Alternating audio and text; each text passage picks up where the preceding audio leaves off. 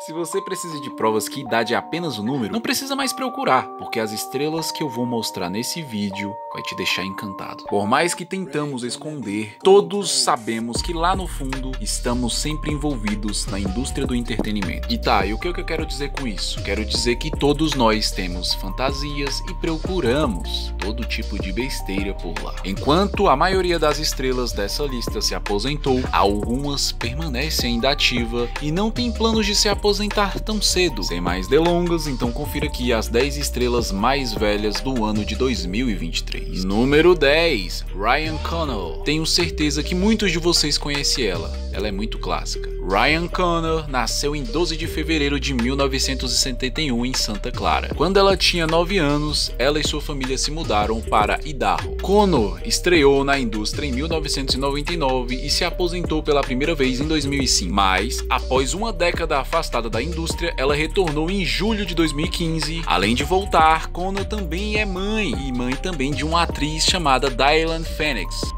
Número 9 Julian Ann Julian Ann nasceu em 8 de outubro de 1969 em Glacedale, na Califórnia, nos Estados Unidos. Ela também é uma atriz americana e dançarina de destaque. Aos 18 anos, Julian Ann começou a modelar e depois se tornou uma lutadora profissional de lama em Hollywood. Ela foi estrear em filmes em 1993. Lembrando que Ann cresceu perto de animais e desenvolveu amor por cavalos. Mas não pense besteira, isso é apenas um gosto dela. Ela também é professora de aulas de piano e aprendeu a nadar como um peixe. Vale muito a pena ver os vídeos dessa coroa aí, então já vai lá e dá aquela pesquisada e comenta aqui embaixo o que você achou. Número 8, Tracy Lords. Tracy Lords nasceu em 7 de maio de 1968. Ela é uma atriz e cantora americana. Vale lembrar que Lords entrou na indústria cinematográfica usando uma identidade falsa para ocultar o fato que tinha dois anos a menos de idade legal de 18 anos. Ela começou nos filmes e foi uma das atrizes mais procuradas na indústria do entretenimento durante a sua carreira. Ela foi uma atriz muito estourada nos anos de 1984. Número 7, Angélica Bella. Angélica Bella nasceu em 15 de fevereiro de 1968. Cacete, ela tem idade para ser minha avó. Deixando a zoeira de lado, ela foi uma atriz húngara que trabalhou principalmente e desfrutou da sua maior popularidade na Itália. Ela trabalhou com vários produtores alemães no início de 1990. Infelizmente, você que quer assistir o vídeo dela não vale a pena porque ela já faleceu. Ela faleceu 7 de maio de 2001 aos 53 anos. Número 6, Tori Reels. Tori Reels nasceu em 17 de junho de 1967. Ela é uma ex-atriz americana de descendência espanhola, francesa, norueguesa e inglesa. Tradução, na época dela, ela deveria ser uma beleza. Reels atuou em filmes entre 1988 e 1999 e também dirigiu vários outros filmes no início dos anos 1990. Ela também foi casada com o produtor de filmes Paul Norman. Digamos que ela é aquele típico de mulher da pepeca bem aveludada. Número 5 Amber Line Amberline nasceu em 3 de junho de 1972 na Finlândia. Esta loira, sempre sorridente, teve uma infância muito difícil. No início dos anos 80, ela se mudou para Los Angeles, aonde trabalhou como dançarina exótica e também seguiu sua carreira na indústria em 2002. Parece ter sido uma boa decisão, principalmente que Amber tem uma carreira maravilhosa, próspera até hoje.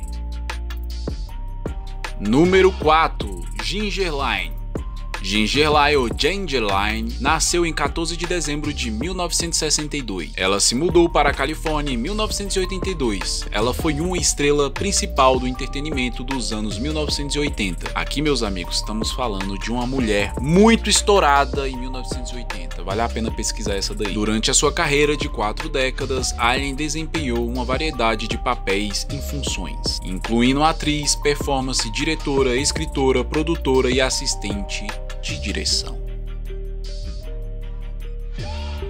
Número 3, Dialxma. Dialxman nasceu em 25 de janeiro de 1960. Salve relembrar que ela está casada com o mesmo homem há mais de 30 anos. E mesmo casada, ela ainda fazia seus vídeos. Seu estilo de vida extravagante levou à indústria amadora e depois se tornou rainha das MIFs. É bom lembrar vocês que mesmo casada ela fez bem mais de 100 filmes. E você aí, teria coragem também de fazer igual Robin Madison, casar com a atriz de filmes? Quero saber aqui nos comentários sua opinião.